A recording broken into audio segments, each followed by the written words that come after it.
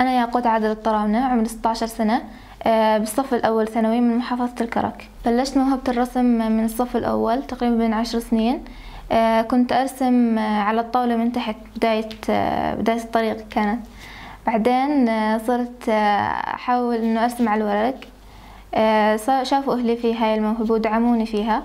بعدين بالصف الرابع بلشت في مجال الزخارف. كنت آه، كل رسمة أرسمها أحاول أدخل فيها تفاصيل أكثر من اللي قبلها لحد ما صارت تشكل عندي لوحة كبيرة. بعدين اكتشفت إنه في فن يعني من المجال اللي أنا يعني برسم فيه اسمه فن الماندالا. كملت في هذا المجال. آه بعدين صرت إنه أشوف صور وأحاول إنه أعمل زيهم لحد ما صار عندي أفكار خاصة في إنه أنا برسم في لوحاتي. ما في في أي لوحة ثانية. كانت تنقل الرسمات من كتاب العربي على دفترها بإتقان. آه، لحتى مرة من المرات مديرة المدرسة أخذت دفترها كنموذج للطالب الموهوب آه، بالرسم.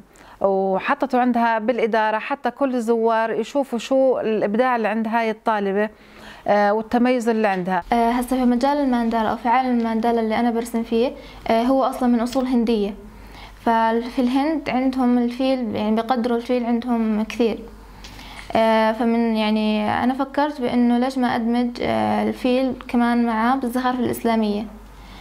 آه، إجت الفكرة بأنه حاول يعني أنا راح أهدي واحدة من رسماتي لجلالة الملك. يعني موجودة كانت الفكرة. سيدنا ليس غريب على الهاشميين يعني ديدنهم هذا وعامل لها تغريدة على صفحته الشخصية أنه بنيتي ياقوت لقد وصلت هديتك.